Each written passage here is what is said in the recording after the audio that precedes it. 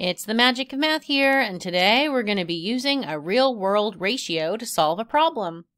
Our math question today states that a new office building will have 640 workers. A construction code requires that new buildings have two restrooms for every 80 workers in the building. Based on the construction code, what is the total number of restrooms the new office building must have? And you're given four answer choices to pick from. So go ahead and pause the video here, do your best work, and then come back to see mine. Good luck.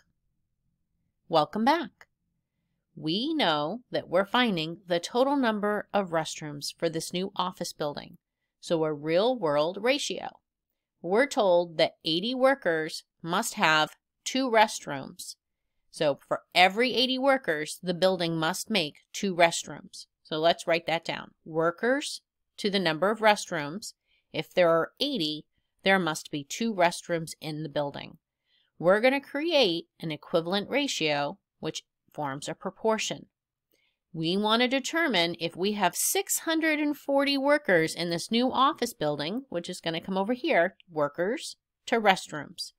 So if the construction code is if you have 80 workers, you need two restrooms, how many restrooms will we need if there are 640 workers in the building? So we want to find the relationship from 80 to 640.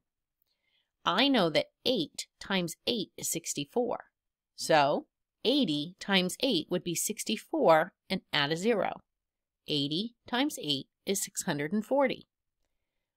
Since we multiplied the numerator of this ratio by 8, we must also multiply the denominator of the ratio by 8 to make equivalent ratios. 2 multiplied by 8 is 16. Therefore, I know that if there are 640 workers in this office building, they must build and construct 16 restrooms in the building to be up to code. So that is answer choice D.